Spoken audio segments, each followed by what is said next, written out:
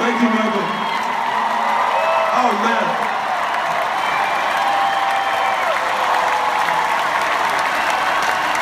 What a wonderful, wonderful, wonderful man. Okay, we got two more songs. You want to hear them or what do you want to do? Let's go then.